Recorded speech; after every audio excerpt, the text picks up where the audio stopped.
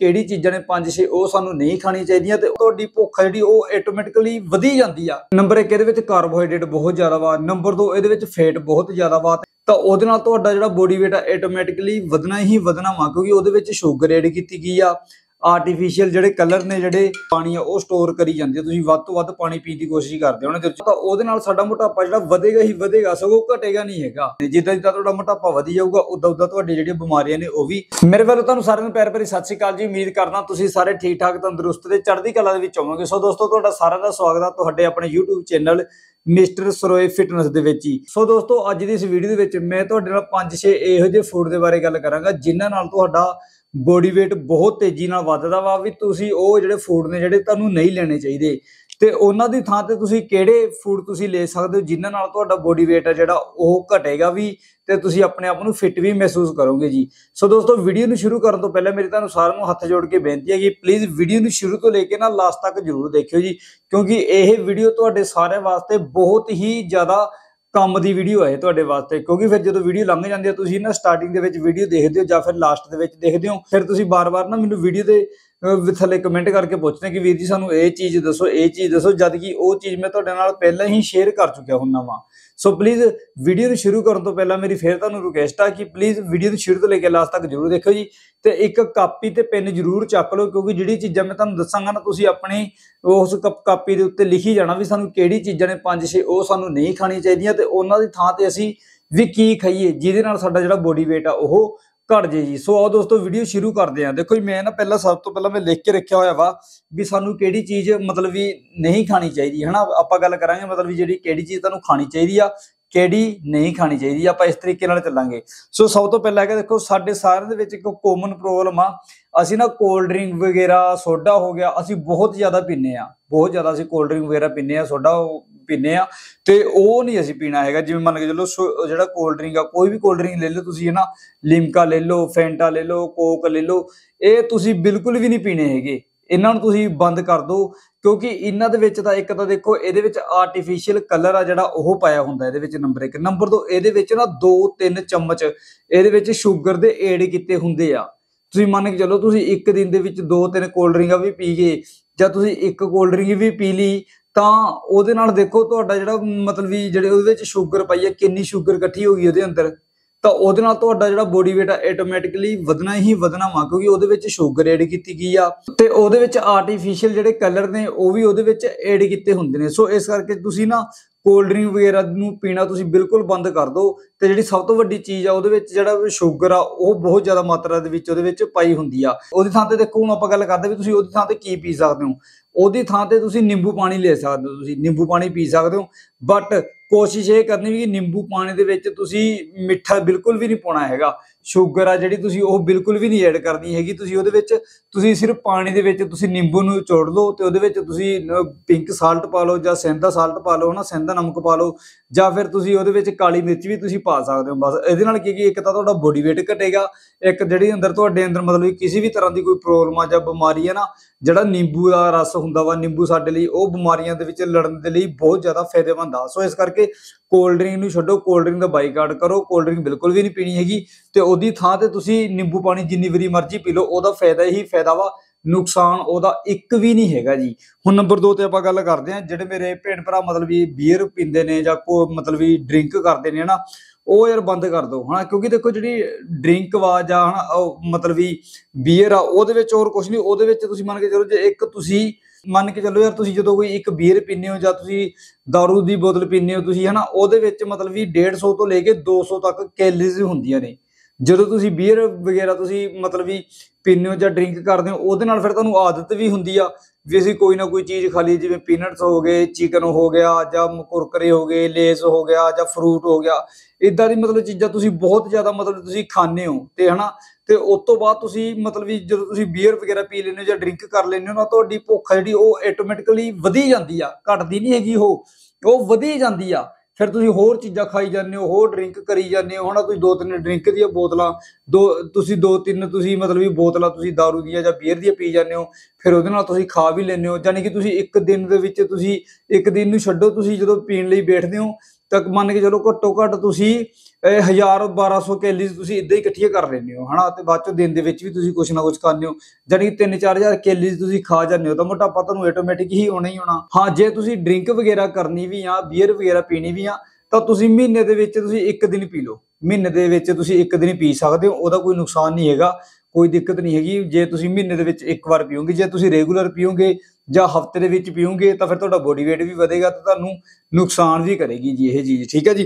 ਹੁਣ ਜੇ ਆਪਾਂ ਗੱਲ ਕਰੀਏ ਇਹਦੀ ਥਾਂ ਤੇ ਕੀ ਪੀ ਸਕਦੇ ਹਾਂ, ਤਾਂ ਮੈਂ ਤਾਂ ਤੁਹਾਨੂੰ ਉਹੀ ਕਹੂੰਗਾ, ਜਾਂ ਤਾਂ ਤੁਸੀਂ ਸਿੰਪਲ ਪਾਣੀ ਪੀਓ, ਜਾਂ ਫਿਰ ਤੁਸੀਂ ਸਿਰਫ ਨਿੰਬੂ ਪਾਣੀ ਪੀਓ। ਸਿੰਪਲ ਪਾਣੀ ਜਾਂ ਨਿੰਬੂ ਪਾਣੀ, ਦੋਵਾਂ ਦੇ ਵਿੱਚੋਂ ਕੋਈ ਵੀ ਚੀਜ਼ ਤੁਸੀਂ ਮਤਲਬ ਲੈ ਸਕਦੇ ਹੋ, ਦੋਵੇਂ ਤੁਹਾਡੀ ਚੀਜ਼ਾਂ ਤੁਹਾਡੀ ਸਿਹਤ ਲਈ ਬਹੁਤ ਵਧੀਆ ਵਾ। ਠੀਕ ਹੈ ਜੀ, ਹੁਣ ਨੰਬਰ 3 ਤੇ ਆਪਾਂ ਗੱਲ ਕਰਦੇ ਹਾਂ ਵੀ ਤੁਸੀਂ ਕਿਹੜੀ ਚੀਜ਼ ਦੀ ਖਾਣੀ ਤੁਸੀਂ ਮਤਲਬ ਜਿਹੜੀਆਂ ਓਇਲੀ ਚੀਜ਼ਾਂ ਨੇ ਜੰਕ ਫੂਡ ਨੇ, ਉਹਨਾਂ ਨੂੰ ਅਵੋਇਡ ਕਰਨਾ। ਜਿਵੇਂ ਮੰਨ ਕੇ ਚਲੋ, ਛੋਲੇ ਭਟੂਰੇ ਹੋ ਗਏ, ਸਮੋਸੇ ਹੋ ਗਏ, ਕਚੋਰੀਆਂ ਹੋ ਗਈਆਂ, ਹਨਾ? ਪੂੜੀ ਛੋਲੇ ਹੋ ਗਏ, ਨਾਨ ਹੋ ਗਏ, ਇਹ ਚੀਜ਼ਾਂ ਤੁਸੀਂ ਬਿਲਕੁਲ ਵੀ ਨਹੀਂ ਖਾਣੀਆਂ ਹੈਗੀਆਂ। ਕਿਉਂਕਿ ਦੇਖੋ ਜਦੋਂ ਤੁਸੀਂ ਇਹ ਚੀਜ਼ਾਂ ਖਾਂਦੇ ਹੋ ਨਾ, ਇਹਦੇ ਵਿੱਚ ਤਾਂ ਮਤਲਬ ਤਾਂ ਇਹ ਦੇਖੋ ਇੱਕ ਤਾਂ ਆਇਲ ਬਹੁਤ ਜ਼ਿਆਦਾ ਹੁੰਦਾ ਵਾ, ਇੱਕ ਇਹਦੇ ਵਿੱਚ ਮਤਲਬ ਨਮਕ ਵਗੈਰਾ ਹੋ ਗਿਆ ਜਾਂ ਹੋਰ ਮਸਾਲੇ ਵਗੈਰਾ ਬਹੁਤ ਜ਼ਿਆਦਾ ਇਹਦੇ ਵਿੱਚ ਪਾਏ ਜਾਂਦੇ ਆ, ਜਿਹੜੇ ਮਤਲਬ ਵੀ ਇਹ ਜਦੋਂ ਚੀਜ਼ਾਂ ਵਿੱਚ ਪਾਈ ਜਾਂਦੇ ਆ ਤਾਂ ਤੁਸੀਂ ਮਤਲਬ ਤੁਹਾਨੂੰ ਇੱਕ ਤਾਂ ਧਿਆ ਬਹੁਤ ਜ਼ਿਆਦਾ ਲੱਗਦੀ ਹੈ ਪਾਣੀ ਦੀ ਪਿਆਸ ਬਹੁਤ ਜ਼ਿਆਦਾ ਲੱਗਦੀ ਹੈ ਹਨਾ? ਤੁਹਾਡੀ ਬੋਡੀ ਜਿਹੜਾ ਪਾਣੀ ਆ ਉਹ ਸਟੋਰ ਕਰੀ ਜਾਂਦੀ ਹੈ ਤੁਸੀਂ ਵੱਧ ਤੋਂ ਵੱਧ ਪਾਣੀ ਪੀਣ ਦੀ ਕੋਸ਼ਿਸ਼ ਕਰਦੇ ਹੋ ਨਾ, ਜਦੋਂ ਚੀਜ਼ਾਂ ਤੁਸੀਂ ਇਹ ਖਾਂਦੇ ਹੋ। ਫਿਰ ਉਸ ਤੋਂ ਬਾਅਦ ਤੁਹਾਡਾ ਮਤਲਬ ਵੀ, ਇਹ ਕੋਲਡ ਡਰਿੰਕ ਪੀਣ ਨੂੰ ਵੀ ਜੀ ਕਰਦਾ ਵਾ, ਜੇ ਤੁਸੀਂ ਮੰਨ ਕੇ ਚਲੋ ਸਮੋਸੇ ਖਾਦੇ ਆ ਕੋਲ ਹਨਾ? ਜਾਂ ਫਿਰ ਤੁਸੀਂ ਮਤਲਬ ਛੋਲੇ ਭਟੂਰੇ ਖਾਦੇ ਆ, ਨਾਨ ਖਾਦੇ ਫਿਰ ਤੁਹਾਡਾ ਦਿਲ ਕਰਦਾ ਯਾਰ ਅਸੀਂ ਕੋਲਡ ਡਰਿੰਕ ਵੀ ਪੀ ਲਈਏ। ਤੁਸੀਂ ਇੱਕ ਦੋ ਬੋਤਲ ਕੋਲਡ ਡਰਿੰਕ ਦੀ ਵੀ ਪੀ ਜਾਂਦੇ ਹੋ। ਇਹਦੇ ਨਾਲ ਮਤਲਬ ਕੀ ਦੇਖੋ, ਬਿਮਾਰੀ ਤਾਂ ਸਾਨੂੰ ਲੱਗਣੀ ਹੀ ਲੱਗਣੀ ਆ। ਬਿਮਾਰੀਆਂ ਵੀ ਲੱਗਣੀਆਂ ਨੇ ਤੇ ਉਹਦੇ ਨਾਲ ਤੁਹਾਡਾ ਜਿਹੜਾ ਮੋਟਾਪਾ ਵਾ, ਉਹ ਆਟੋਮੈਟਿਕ ਹੀ ਵਧਣਾ ਵਾ। ਕਿਉਂਕਿ ਜਦੋਂ ਚੀਜ਼ਾਂ ਹੀ ਅਸੀਂ ਓਇਲੀ ਚੀਜ਼ਾਂ ਖਾਣੀਆਂ ਨੇ ਜੰਕ ਫੂਡ ਖਾਣੇ ਨੇ, ਹਨਾ, ਤਾਂ ਉਹਦੇ ਨਾਲ ਸਾਡਾ ਮੋਟਾਪਾ ਜਿਹੜਾ ਵਧੇਗਾ ਹੀ ਵਧੇਗਾ, ਸਗੋਂ ਘਟੇਗਾ ਨਹੀਂ ਹੈਗਾ। ਇਹ ਚੀਜ਼ਾਂ ਤੁਸੀਂ ਬਿਲਕੁਲ ਬੰਦ ਕਰ ਦਿਓ। ਤਲੀਆਂ ਚੀਜ਼ਾਂ ਹੋ ਗਿਆ, ਮਿੱਠਾ ਹੋ ਗਿਆ ਜੰਕ ਫੂਡ ਹੋ ਗਏ, ਇਹ ਤੁਸੀਂ ਬਿਲਕੁਲ ਵੀ ਨਹੀਂ ਖਾਣੇ ਹੈਗੇ। ਕਿਉਂਕਿ ਜਿਹੜੇ ਸਮੋਸੇ ਹੋ ਗਏ, ਸਮੋਸੇ, ਛੋਲੇ ਭਟੂਰੇ, ਹਨਾ, ਤੇ ਨਾਨ ਵਗੈਰਾ ਵਰਗੀਆਂ ਚੀਜ਼ਾਂ ਨੇ 버ਗਰ ਹੋ ਗਏ, ਪੀਜ਼ਾ ਹੋ ਗਿਆ, ਇਹਨਾਂ ਦੇ ਵਿੱਚ ਦੇਖੋ, ਨੰਬਰ 1 ਇਹਦੇ ਵਿੱਚ ਕਾਰਬੋਹਾਈਡਰੇਟ ਬਹੁਤ ਜ਼ਿਆਦਾ ਵਾ, ਨੰਬਰ 2 ਇਹਦੇ ਵਿੱਚ ਫੈਟ ਬਹੁਤ ਜ਼ਿਆਦਾ ਵਾ, ਤੇ ਇਹਦੇ ਵਿੱਚ ਸੋਡੀਅਮ ਵੀ ਬਹੁਤ ਜ਼ਿਆਦਾ ਵਾ। ਜਦੋਂ ਤੁਸੀਂ ਇਹ ਚੀਜ਼ਾਂ ਖਾ ਲੈਂਦੇ ਹੋ, ਤੁਹਾਡੀ ਬੋਡੀ ਨਾ ਬਹੁਤ ਸਾਰੀਆਂ ਚੀਜ਼ਾਂ ਨੂੰ ਆਪਣੀ ਬੋਡੀ ਦੇ ਅੰਦਰ ਮਤਲਬ ਸਟੋਰ ਕਰਕੇ ਰੱਖਦੀ ਹੈ ਚੀਜ਼ਾਂ, ਹਨਾ? ਜਿਵੇਂ ਮੰਨ ਕੇ ਚੱਲੋ ਤੁਸੀਂ ਪਾਣੀ ਪੀ ਲਿਆ, ਤੁਹਾਡੀ ਬੋਡੀ ਨੇ ਪਾਣੀ ਸਟੋਰ ਕਰਕੇ ਰੱਖ ਲੈਣਾ, ਕੋਈ ਹੋਰ ਚੀਜ਼ਾਂ ਵੀ, ਯਾਨੀ ਕਿ ਤੁਹਾਡੀ ਬੋਡੀ ਨੇ ਮਤਲਬ ਵੀ ਖਾਣ ਵਾਸਤੇ ਮੰਗੀ ਜਾਣਾ ਕੁਛ ਨਾ ਕੁਛ ਤੇ ਤੁਸੀਂ ਖਾਈ ਜਾਣਾ ਤੇ ਜਿੰਨਾ ਜ਼ਿਆਦਾ ਤੁਸੀਂ ਖਾਓਗੇ ਤੇ ਉਹਦੇ ਵਿੱਚ ਤੁਹਾਡਾ ਹੀ ਨੁਕਸਾਨ ਆ, ਹੋਰ ਕਿਸੇ ਦਾ ਨੁਕਸਾਨ ਨਹੀਂ ਹੈਗਾ। ਤੁਹਾਡਾ ਮੋਟਾਪਾ ਵੀ ਵਧਣਾ ਹੀ ਵਧਣਾ, ਮੋਟਾਪੇ ਦੇ ਨਾਲ ਨਾਲ ਤੇ ਤੁਹਾਨੂੰ ਬਿਮਾਰੀਆਂ ਵੀ ਲੱਗਣੀਆਂ ਹੀ ਲੱਗਣੀਆਂ ਨੇ। ਜਿੱਦਾਂ ਜਿੱਦਾਂ ਤੁਹਾਡਾ ਮੋਟਾਪਾ ਵਧੀ ਜਾਊਗਾ, ਉਦਾਂ ਉਦਾਂ ਤੁਹਾਡੀ ਜਿਹੜੀਆਂ ਬਿਮਾਰੀਆਂ ਨੇ, ਉਹ ਵੀ ਆਟੋਮੈਟਿਕ ਹੀ ਵਧੀ ਜਾਣੀਆਂ ਨੇ। ਹੁਣ ਆਪਾਂ ਗੱਲ ਕਰੀਏ ਵੀ ਤੁਸੀਂ ਇਹਦੀ ਥਾਂ ਤੇ ਤੁਸੀਂ ਕੀ ਖਾ ਸਕਦੇ ਹੋ, ਹਾਂ? ਜੇ ਤੁਸੀਂ ਇਹ ਚੀਜ਼ਾਂ ਖਾਣੀ ਵੀ ਨੇ ਨਾ, ਤਾਂ ਤੁਸੀਂ 15-20 ਦਿਨ ਦੇ ਵਿੱਚ ਤੁਸੀਂ ਮਤਲਬ ਵੀ ਆਪਣੇ ਘਰੇ ਬਣਾ ਕੇ ਖਾ ਲਓ। ਕਿਉਂਕਿ ਜਦੋਂ ਤੁਸੀਂ ਇਹ ਚੀਜ਼ਾਂ ਘਰੇ ਬਣਾ ਕੇ ਖਾਓਗੇ ਨਾ ਤਾਂ ਬਾਜ਼ਾਰ ਨਾਲ ਤੁਸੀਂ ਵਧੀਆ ਬਣਾਉਂਗੇ ਇੱਕ ਤਾਂ ਦੇਖੋ, ਤੁਸੀਂ ਉਹਦੇ ਵਿੱਚ ਨਮਕ ਤੁਸੀਂ ਵਧੀਆ ਪਾਉਂਗੇ ਜਿਵੇਂ ਪਿੰਕ ਸਾਲਟ ਹੋ ਗਿਆ ਜਾਂ ਸਿੰਧਾ ਨਮਕ ਹੋ ਗਿਆ ਨਾ, ਤੁਸੀਂ ਇਹੋ ਜਿਹੀਆਂ ਚੀਜ਼ਾਂ ਪਾਓਗੇ। ਹੋਰ ਵੀ ਉਹਦੇ ਵਿੱਚ ਤੁਸੀਂ ਚੀਜ਼ਾਂ ਵਧੀਆ ਐਡ ਕਰੋਗੇ। ਮਸਾਲੇ ਵੀ ਤੁਸੀਂ ਆਪਣੇ ਟੇਸਟ ਦੇ ਮੁਤਾਬਿਕ ਪਾਉਂਗੇ ਕਿਉਂਕਿ ਜਿਹੜੇ ਬਾਹਰ ਵਾਲੇ ਚੀਜ਼ਾਂ ਬਣਾਉਂਦੇ ਆ, ਇੱਕ ਤਾਂ ਉਹ ਨਮਕ ਆ ਜਿਹੜਾ ਸਭ ਤੋਂ ਗੰਦਾ ਨਮਕ ਵਰਤਦੇ ਆ, ਜਿਵੇਂ ਟਾਟਾ ਟੂਟਾ ਦਾ ਹੋ ਗਿਆ, ਲਿਟਰਮ ਬਟਰਮ, ਉਹ ਨਮਕ ਵਰਤਦੇ ਆ। ਤੇ ਉਸ ਤੋਂ ਬਾਅਦ ਉਹ ਮਤਲਬ ਵੀ ਇਹਦੇ ਵਿੱਚ ਮਤਲਬ ਵੀ ਮਸਾਲੇ ਬਹੁਤ ਮਤਲਬ ਗੰਦੇ ਮੰਦੇ ਜਿਹੇ ਮਸਾਲੇ ਪਾ ਦਿੰਦੇ ਆ, ਹੱਥ ਹੁੱਥ ਵੀ ਨਹੀਂ ਧੋਂਦੇ ਹੈਗੇ, ਉਹ ਇਦਾਂ ਦੀਆਂ ਚੀਜ਼ਾਂ ਪਾਉਂਦੇ ਨੇ। ਜੇ ਤੁਹਾਡਾ ਖਾਣ ਨੂੰ ਦਿਲ ਕਰਦਾ ਵਾ ਤਾਂ 10-15 ਦਿਨ ਦੇ ਵਿੱਚ ਤੁਸੀਂ ਇੱਕ ਦੋ ਵਾਰ ਤੁਸੀਂ ਆਪਣੇ ਘਰ ਦੇ ਵਿੱਚ ਬਣਾ ਕੇ ਤੁਸੀਂ ਇਹ ਚੀਜ਼ਾਂ ਨੂੰ ਖਾ ਸਕਦੇ ਹੋ ਜੀ। ਹੁਣ ਆਪਾਂ ਗੱਲ ਕਰਦੇ ਹਾਂ ਵੀ ਤੁਹਾਨੂੰ ਕਿਹੜੀ ਚੀਜ਼ ਨਹੀਂ ਖਾਣੀ ਚਾਹੀਦੀ, ਤੁਹਾਨੂੰ ਚਿਪਸ, ਕੁਰਕਰੇ, ਲੇਜ਼ ਵਗੈਰਾ ਇਹ ਤੁਹਾਨੂੰ ਬਿਲਕੁਲ ਵੀ ਨਹੀਂ ਖਾਣੇ ਚਾਹੀਦੇ ਕਿਉਂਕਿ ਇਹਦੇ ਵਿੱਚ ਦੇਖੋ ਜਿਵੇਂ ਮੈਂ ਤੁਹਾਨੂੰ ਪਹਿਲਾਂ ਦੱਸਿਆ ਹੋਇਆ ਇੱਕ ਤਾਂ ਇਹਦੇ ਵਿੱਚ ਸੋਡੀਅਮ ਵਗੈਰਾ ਵਾ ਜਿਹੜਾ ਉਹ ਬਹੁਤ ਜ਼ਿਆਦਾ ਪਾਇਆ ਹੁੰਦਾ ਵਾ ਨਾ, ਤੇ ਇਹਦੇ ਵਿੱਚ ਕੈਲਰੀਜ਼ ਆ ਜਿਹੜੀ ਬਹੁਤ ਹੀ ਜ਼ਿਆਦਾ ਕੈਲਰੀਜ਼ ਹੁੰਦੀ ਹੈ ਇਹ ਇੱਕ ਲੇਸ ਦੇ ਪੈਕਟ ਦੇ ਵਿੱਚ ਜੇ ਮੰਨ ਕੇ ਚੱਲੀਏ ਹੈ ਨਾ ਮੇਰੇ ਹਿਸਾਬ ਦੇ ਨਾਲ 500 ਤੋਂ ਲੈ ਕੇ 600 ਕੈਲਰੀਜ਼ ਇੱਕ ਲੇਜ਼, ਕੁਰਕਰੇ ਦੇ ਪੈਕਟ ਦੇ ਵਿੱਚ ਹੁੰਦੀ ਹੀ ਹੁੰਦੀ ਆ। ਸੋ ਇਸ ਕਰਕੇ ਲੇਜ਼ ਵਗੈਰਾ ਤੁਸੀਂ ਖਾਣੇ ਬੰਦ ਕਰ ਦਿਓ ਕੁਰਕਰੇ ਵਗੈਰਾ ਹਨਾ? ਕਿਉਂਕਿ ਇਹਨਾਂ ਨੂੰ ਇੱਕ ਤਾਂ ਫਰਾਈ ਕੀਤਾ ਹੁੰਦਾ ਵਾ, ਇਹਦੇ ਵਿੱਚ ਆਇਲ ਬਹੁਤ ਜ਼ਿਆਦਾ ਪਾਇਆ ਹੁੰਦਾ ਵਾ, ਉੱਤੋਂ ਇਹਦੇ ਵਿੱਚ ਨਮਕ ਆ ਜਿਹੜਾ, ਨਮਕ ਵੀ ਬਹੁਤ ਜ਼ਿਆਦਾ ਪਾਇਆ ਹੁੰਦਾ ਵਾ, ਮਸਾਲੇ ਮਸੂਲੇ ਬਹੁਤ ਜ਼ਿਆਦਾ ਪਾਏ ਹੁੰਦੇ ਆ। ਤੁਸੀਂ ਇਹ ਬਿਲਕੁਲ ਅਵੋਇਡ ਕਰ ਦਿਓ, ਤੁਸੀਂ ਇਹ ਚੀਜ਼ਾਂ ਨੂੰ ਨਹੀਂ ਖਾਣਾ ਹੈਗਾ। ਹਾਂ, ਜੇ ਤੁਸੀਂ ਮਤਲਬ ਚੀਜ਼ਾਂ, ਇਹਦੀ ਥਾਂ ਤੇ ਤੁਸੀਂ ਕੀ ਖਾਣਾ ਵਾ, ਇਹਦੀ ਥਾਂ ਤੇ ਤੁਸੀਂ ਘਰ ਦੇ ਵਿੱਚ ਨੋਰਮਲੀ ਜਿਹੜੇ ਪੌਪਕੌਰਨ ਨਹੀਂ ਹੁੰਦੇ ਕਿ ਪੌਪਕੌਰਨ ਹੁੰਦੇ ਨੇ ਜਿਹੜੇ, ਇੱਕ ਤਾਂ ਹੁੰਦੇ ਤੇਲ ਦੇ ਵਿੱਚ ਬਣੇ ਹੁੰਦੇ ਆ ਨਾ, ਉਹ ਨਹੀਂ ਖਾਣੇ ਹੈਗੇ। ਇੱਕ ਨੋਰਮਲੀ ਬਣਦੇ ਨੇ ਜਿਹੜੇ ਮਤਲਬ ਦੇਖੋ ਨਮਕ ਦੇ ਵਿੱਚ ਬਣਦੇ ਨੇ ਪਤਾ ਨਹੀਂ ਰੇਤਾ ਜੀ ਦੇ ਵਿੱਚ ਬਣਦੇ ਨੇ। ਤੁਸੀਂ ਉਹ ਪੌਪਕੌਰਨ ਖਾਓ, ਉਹਦੇ ਨਾਲ ਕੀ ਇੱਕ ਇੱਕ ਕੀਤਾ ਕੀ ਤੁਹਾਡੀ ਜਿਹੜੀ ਭੁੱਖ ਆ, ਉਹ ਉਹਦੇ ਵਿੱਚ ਮਤਲਬ ਤੁਹਾਡੀ ਭੁੱਖ ਮਰ ਦਿੰਦਾ ਵਾ ਉਹ, ਹਨਾ? ਤੇ ਨੰਬਰ 2 ਉਹਦੇ ਨਾਲ ਮਤਲਬ ਤੁਹਾਨੂੰ, ਮਤਲਬ ਉਹਦੇ ਵਿੱਚ ਕੈਲਰੀਜ਼ ਬਹੁਤ ਘੱਟ ਹੁੰਦੇ ਨੇ। ਉਹ ਤੁਹਾਡਾ ਬੋਡੀ weight ਬਿਲਕੁਲ ਨਹੀਂ ਵਧਾਉਣਗੇ, ਉਹ ਤੁਹਾਨੂੰ ਮਤਲਬ ਵੀ ਹੈਲਦੀ ਹੀ ਰੱਖਣਗੇ। ਤੁਹਾਡਾ ਢਿੱਡ ਭਰਿਆ ਭਰਿਆ ਜਾ ਤੁਹਾਨੂੰ ਮਤਲਬ ਮਹਿਸੂਸ ਹੋਏਗਾ ਤੇ ਤੁਸੀਂ ਮਤਲਬ ਚੀਜ਼ਾਂ ਘੱਟ ਖਾਓਗੇ। ਠੀਕ ਹੈ ਜੀ? ਨੰਬਰ ਇਹ ਹੋ ਗਿਆ। ਤੇ ਪਾਣੀ ਤੁਸੀਂ ਜ਼ਿਆਦਾ ਤੋਂ ਜ਼ਿਆਦਾ ਪੀਣ ਦੀ ਤੁਸੀਂ ਕੋਸ਼ਿਸ਼ ਕਰਨੀ ਆ। ਤੇ ਮਤਲਬ ਵੀ ਨਿੰਬੂ ਪਾਣੀ ਹੋ ਗਿਆ, ਉਹਨੂੰ ਤੁਸੀਂ ਹਮੇਸ਼ਾ ਆਪਣੀ ਮਤਲਬ ਡਾਈਟ ਦੇ ਵਿੱਚ ਤੁਸੀਂ ਐਡ ਕਰੋ ਹੀ ਕਰੋ ਜੀ। ਤੇ ਹੁਣ ਆਪਾਂ ਅੱਗੇ ਗੱਲ ਕਰੀਏ ਵੀ ਤੁਹਾਨੂੰ ਹੋਰ ਕੀ ਨਹੀਂ ਖਾਣਾ ਚਾਹੀਦਾ।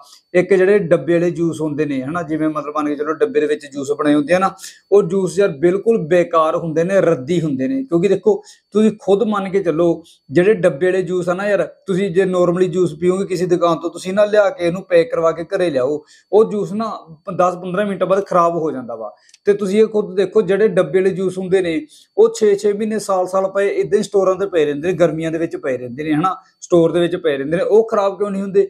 ਕਿਉਂਕਿ ਉਹਦੇ ਵਿੱਚ ਮਤਲਬ ਕਿ ਯਾਰ ਕੈਮੀਕਲ ਪਾਇਆ ਹੁੰਦਾ ਉਹਨਾਂ ਨੇ, ਉਹਨਾਂ ਵਿੱਚ ਕੈਮੀਕਲ ਪਾਇਆ ਹੁੰਦਾ ਵਾ ਵੀ ਜਿਹੜਾ ਉਹ ਜੂਸ ਆ ਖਰਾਬ ਨਾ ਹੋਵੇ ਤੇ ਉਹਦੇ ਵਿੱਚ ਮਤਲਬ ਵੀ ਡੱਬੇ ਵਾਲੇ ਜੂਸ ਦੇ ਵਿੱਚ ਮਤਲਬ ਵਿੱਚ ਸੁੰਡੀਆਂ ਪੈ ਜਾਂਦੀਆਂ ਨੇ, ਹਨਾ, ਸੁੰਡੇ ਪੈ ਜਾਂਦੇ ਨੇ, ਕੀੜੇ ਮਕੌੜੇ ਪੈ ਜਾਂਦੇ ਨੇ ਅਸੀਂ ਕੀ ਕਰਦੇ ਨੇ ਲੈ ਕੇ ਢੱਕਣ ਖੋਲ ਕੇ ਉਹਨੂੰ ਪਾ ਕੇ ਪੀਣਾ ਸ਼ੁਰੂ ਕਰ ਦਿੰਦੇ ਆ ਤੇ ਉਹ ਬਰੀਕ ਬਰੀਕ ਜਿਹੜੇ ਹੁੰਦੇ ਨੇ ਸੁੰਡੇ ਜੇ ਉਹਦੇ ਵਿੱਚ ਹੁੰਦੇ ਨੇ ਤੇ ਸਾਨੂੰ ਪਤਾ ਨਹੀਂ ਲੱਗਦਾ ਉਹ ਸਿੱਧੇ ਸਾਡੀ ਬੋਡੀ ਦੇ ਵਿੱਚ ਚਲੇ ਜਾਂਦੇ ਆ, ਜਿਹਦੇ ਨਾਲ ਕੀ ਆ ਕਿ ਸ- ਅਸੀਂ ਬਿਮਾਰ ਵੀ ਹੋ ਜਾਂਦੇ ਆ ਤੇ ਸਾਡਾ ਜਿਹੜਾ ਮੋਟਾਪਾ ਵਾ ਉਹ ਵੀ ਵਧਣਾ ਵਾ ਤੇ ਜਿਹੜੀ ਸਾਡੀ ਕਿਡਨੀ ਆ ਲੀਵਰ ਆ ਜਿਹੜਾ ਉਹਦੇ ਤੇ ਸਿੱਧਾ ਇਫੈਕਟ ਪੈਂਦਾ, ਇਹ ਚੀਜ਼ਾਂ ਦਾਰੂ ਨਾਲੋਂ ਵੀ ਮਾੜੀਆਂ ਨੇ।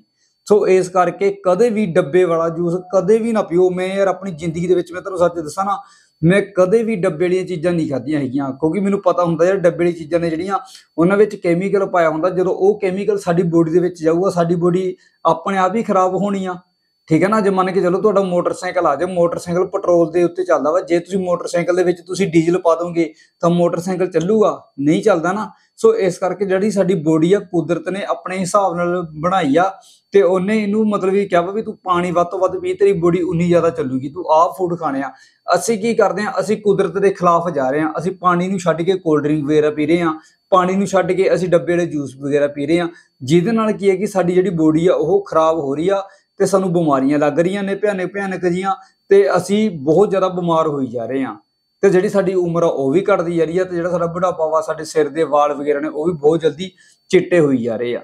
ਸੋ ਇਸ ਕਰਕੇ ਸਵਾਦ ਦੇ ਪਿੱਛੇ ਨਾ ਲੱਗੋ ਤੁਸੀਂ ਤੁਸੀਂ ਆਪਣੀ ਉਮਰ ਵੱਲ ਦੇਖੋ, ਆਪਣਾ ਸਿਹਤ ਵੱਲ ਦੇਖੋ ਤੁਸੀਂ। ਤੁਸੀਂ ਖਾਣ ਲਈ ਨਾ ਜੀਓ, ਤੁਸੀਂ ਜਿਉਣ ਲਈ ਖਾਓ। ਵੀ ਹਾਂ ਯਾਰ, ਮੈਂ ਜ਼ਿੰਦਗੀ ਜਿਉਣੀ ਆ, ਸੋ ਇਸ ਹਿਸਾਬ ਨਾਲ ਤੁਸੀਂ ਖਾਓ। ਜੇ ਆਪਾਂ ਗੱਲ ਕਰੀਏ ਇਹਦੀ ਥਾਂ ਤੇ ਸਾਨੂੰ ਕੀ ਖਾਣਾ ਚਾਹੀਦਾ, ਕੀ ਨਹੀਂ ਖਾਣਾ ਚਾਹੀਦਾ, ਸੋ ਇਹਦੇ ਕਰਕੇ ਡੱਬੇ ਵਾਲੇ ਜਿਹੜੇ ਜੂਸ ਨੇ ਜਾਂ ਕੁਝ ਵੀ ਆ ਨਾ, ਉਹਨਾਂ ਨੂੰ ਅਵੋਇਡ ਕਰਕੇ ਤੁਸੀਂ ਫਰੂਟ ਖਾਓ। ਜੂਸ ਨਾ ਪੀਓ, ਕਿਉਂਕਿ ਜੂਸ ਦੇ ਵਿੱਚ ਮੈਂ ਤੁਹਾਨੂੰ ਪਹਿਲਾਂ ਵੀ ਦੱਸਿਆ ਸੀ ਵੀਡੀਓ ਦੇ ਵਿੱਚ ਫਾਈਬਰ ਵਗੈਰਾ ਵਾ ਜਿਹੜਾ ਉਹ ਸਾਰਾ ਨਿਕਲ ਜਾਂਦਾ ਵਾ। ਸੋ ਤੁਸੀਂ ਮਤਲਬ ਫਰੂਟ ਖਾਣ ਦੀ, ਵੱਧ ਤੋਂ ਵੱਧ ਫਰੂਟ ਖਾਣ ਦੀ ਕੋਸ਼ਿਸ਼ ਕਰੋ ਤੇ ਫਰੂਟ ਨੂੰ ਹਮੇਸ਼ਾ ਤੁਸੀਂ ਚਬਾ ਚਬਾ ਕੇ ਤੁਸੀਂ ਖਾਓ, ਹਨਾ? ਤੇ ਜਦੋਂ ਤੁਸੀਂ ਮਤਲਬ ਵੀ ਜਦੋਂ ਤੁਸੀਂ ਫਰੂਟ ਖਾਓਗੇ ਨਾ ਫਰੂਟ ਦੇ ਵਿੱਚ ਦੇਖੋ ਨਾ ਤਾਂ ਤੁਸੀਂ ਬਰਫ਼ ਪਾਉਣੀ ਹੈਗੀ, ਨਾ ਤੁਸੀਂ ਉਹਦੇ ਵਿੱਚ ਸ਼ੂਗਰ ਪਾਣੀ ਹੈਗੀ। ਜੇ ਤੁਸੀਂ ਜੂਸ ਪੀਓਗੇ ਜੂਸ ਦੇ ਵਿੱਚ ਦੇਖੋ ਇੱਕ ਤਾਂ ਬਰਫ਼ ਵੀ ਪੈਂਦੀ ਆ, ਠੀਕ ਹੈ ਜੀ ਨੰਬਰ 1 ਨੰਬਰ 2 ਉਹਦੇ ਵਿੱਚ ਸ਼ੂਗਰ ਵੀ ਪੈਂਦੀ ਆ। ਨੰਬਰ 3 ਇਹਦੇ ਵਿੱਚ ਮਤਲਬ ਹੋਰ ਕੁਝ ਵੀ ਵਗੈਰਾ ਵੀ ਪਾ ਦਿੰਦੇ ਨੇ, ਜਿਵੇਂ ਮੰਨ ਕੇ ਚੱਲੀ ਆਪਾਂ ਉਹ ਜਿਹੜੇ ਹੁੰਦੇ ਨੇ ਯਾਰ, ਰੰਗ ਬਰੰਗੀਆਂ ਪਤਾ ਨਹੀਂ ਕੀ ਕਹਿੰਦੇ ਨੇ ਉਹਨੂੰ, ਉਹ ਵੀ ਜੂਸ ਦੇ ਵਿੱਚ ਪਾ ਦਿੰਦੇ ਨੇ ਬਨਾਨਾ ਸ਼ੇਕ ਤੇ ਪਾ ਦਿੰਦੇ ਨੇ, ਪਪੀਤਾ ਸ਼ੇਕ ਤੇ ਪਾ ਦਿੰਦੇ ਜੇ ਸਵਾਦ ਲਿਆਉਣ ਵਾਸਤੇ। ਸੋ ਉਹ ਚੀਜ਼ਾਂ ਤੋਂ ਤੁਸੀਂ ਬਚੇ ਰਹੋਗੇ ਜੇ ਤੁਸੀਂ ਫਰੂਟ ਖਾਓਗੇ। ਕਿਉਂਕਿ ਦੇਖੋ ਫਰੂਟ ਆ ਜਿਹੜਾ ਫਰੂਟ ਦਾ ਇੱਕ ਨੇਚਰਲ ਚੀਜ਼ ਆ। ਉਹਦੇ ਵਿੱਚ ਜਿਹੜਾ ਮਿੱਠਾ ਵਾ, ਉਹ ਵੀ ਨੇਚਰਲ ਆ, ਹਨਾ? ਤੇ ਜਿਹੜਾ ਫਰੂਟ ਆ, ਉਹ ਕੁਦਰਤ ਵੱਲੋਂ ਤਿਆਰ ਕੀਤਾ ਗਿਆ ਵਾ। ਉਹਦੇ ਵਿੱਚ ਕਿਸੇ ਤਰ੍ਹਾਂ ਦੀ ਕੋਈ ਮਿਲਾਵਟ ਨਹੀਂ ਹੈਗੀ। ਸੋ ਇਸ ਕਰਕੇ ਤੁਸੀਂ ਫਰੂਟ ਨੂੰ ਜ਼ਿਆਦਾ ਤੁਸੀਂ ਮਤਲਬ ਵੀ ਆਪਣੀ ਡਾਈਟ ਦੇ ਵਿੱਚ ਸ਼ਾਮਲ ਕਰੋ। ਡੱਬੇ ਵਾਲੇ ਜਿਹੜੇ ਜੂਸ ਜਾਸ ਨੇ, ਉਹਨਾਂ ਨੂੰ ਤੁਸੀਂ ਬੰਦ ਕਰੋ। ਫਰੂਟਾਂ ਦਾ ਜਿਹੜੀ ਮਾਤਰਾ ਵਾ, ਤੁਸੀਂ ਆਪਣੀ ਡਾਈਟ ਦੇ ਵਿੱਚ ਹਮੇਸ਼ਾ ਤੁਸੀਂ ਵਧਾ ਕੇ ਰੱਖੋ। ਜਿਹੜੇ ਵੀ ਸੀਜ਼ਨਲ ਫਰੂਟ ਨੇ, ਜਿਵੇਂ ਸੇਬਾਂ ਦੇ ਟਾਈਮ ਸੇਬ ਖਾ ਸਕਦੇ ਹੋ, ਅਮਰੂਦ ਖਾ ਸਕਦੇ ਹੋ ਬਨਾਨਾ ਖਾ ਸਕਦੇ ਹੋ, ਇਹੋ ਜਿਹੀ ਚੀਜ਼ਾਂ ਨੂੰ ਤੁਸੀਂ ਖਾਓ। ਉਹਦੇ ਨਾਲ ਤੁਸੀਂ ਹੈਲਦੀ ਰਹੋਗੇ, ਤੁਹਾਡਾ weight ਵੀ ਕੰਟਰੋਲ ਰਹੇਗਾ ਕਿ ਤੁਸੀਂ ਆਪਣੇ ਆਪ ਨੂੰ ਫਿੱਟ ਵੀ ਮਹਿਸੂਸ ਕਰੋਗੇ। ਸੋ ਦੋਸਤੋ ਅੱਜ ਦੀ ਵੀਡੀਓ ਦੇ ਵਿੱਚ ਸਿਰਫ ਇਹੀ ਆ ਜੀ ਇਹੀ ਮੈਂ ਤੁਹਾਡੇ ਨਾਲ ਗੱਲ ਸ਼ੇਅਰ ਕਰਨੀ ਸੀ ਵੀ ਤੁਸੀਂ ਕਿਹੜੇ ਫੂਡ ਤੁਸੀਂ ਐਡ ਕਰ ਸਕਦੇ ਹੋ? ਆਪਣੀ ਡਾਈਟ ਦੇ ਵਿੱਚ ਕਿਹੜੇ ਫੂਡ ਤੁਸੀਂ ਐਡ ਨਹੀਂ ਕਰਨੇ ਹੈਗੇ ਜੀ? ਸੋ ਅਗਰ ਤੁਹਾਡਾ ਇਸ ਵੀਡੀਓ ਦੇ ਰਿਗਾਰਡਿੰਗ ਕੋਈ ਵੀ ਕਿਸੇ ਵੀ ਤਰ੍ਹਾਂ ਦਾ ਸਵਾਲ ਹੈਗਾ ਤਾਂ ਪਲੀਜ਼ ਤੁਸੀਂ ਮੈਨੂੰ ਇਸ ਵੀਡੀਓ ਦੇ ਥੱਲੇ ਤੁਸੀਂ ਕਮੈਂਟ ਕਰਕੇ ਆਪਣਾ ਸਵਾਲ ਪੁੱਛ ਸਕਦੇ ਹੋ ਜਾਂ ਤੁਸੀਂ ਮੈਨੂੰ ਇੰਸਟਾਗ੍ਰam ਤੇ ਫੋਲੋ ਕਰਕੇ ਆਪਣਾ ਸਵਾਲ ਤੁਸੀਂ ਮੈਨੂੰ ਪੁੱਛ ਸਕਦੇ ਹੋ। ਜਾਂ ਫਿਰ ਤੁਹਾਡੇ ਦਿਮਾਗ ਦੇ ਵਿੱਚ ਜਾਂ ਤੁਹਾਡੇ ਮਨ ਦੇ ਅੰਦਰ ਕੋਈ ਵੀ ਕਿਸੇ ਵੀ ਤਰ੍ਹਾਂ ਦਾ ਫਿਟਨੈਸ ਨੂੰ ਲੈ ਕੇ ਬੋਡੀ weight ਨੂੰ ਲੈ ਕੇ, ਭਾਰ ਘਟਾਉਣ ਨੂੰ ਲੈ ਕੇ, ਭਾਰ ਵਧਾਉਣ ਨੂੰ ਲੈ ਕੇ ਕੋਈ ਵੀ ਕਿਸੇ ਵੀ ਤਰ੍ਹਾਂ ਦਾ ਸਵਾਲ ਹੈਗਾ ਤਾਂ ਪਲੀਜ਼ ਤੁਸੀਂ ਮੈਨੂੰ ਇਸ ਵੀਡੀਓ ਥੱਲੇ ਕਮੈਂਟ ਕਰਕੇ ਦੱਸ ਸਕਦੇ ਹੋ। ਮੈਂ ਕੋਸ਼ਿਸ਼ ਕਰਾਂਗਾ ਕਿ ਮੈਂ ਉਸ ਤੇ ਪ੍ਰੋਪਰਲੀ ਵੀਡੀਓ ਬਣਾ ਕੇ ਤੁਹਾਡੇ ਸਾਰੇ ਵਾਸਤੇ ਲੈ ਕੇ ਆਵਾਂਗੇ ਜੀ। ਸੋ ਦੋਸਤੋ, ਮਿਲਦੇ ਕੱਲ ਨੂੰ ਇੱਕ ਨਵੀਂ ਤੇ ਵਧੀਆ ਵੀਡੀਓ ਦੇ ਨਾਲ। ਉਹ ਤੱਕ ਲਈ ਤੁਹਾਨੂੰ ਸਾਰਿਆਂ ਨੂੰ ਮੇਰੇ ਵੱਲੋਂ ਪਿਆਰ ਭਰੀ ਸਤਿ ਸ਼੍ਰੀ ਅਕਾਲ ਜੀ।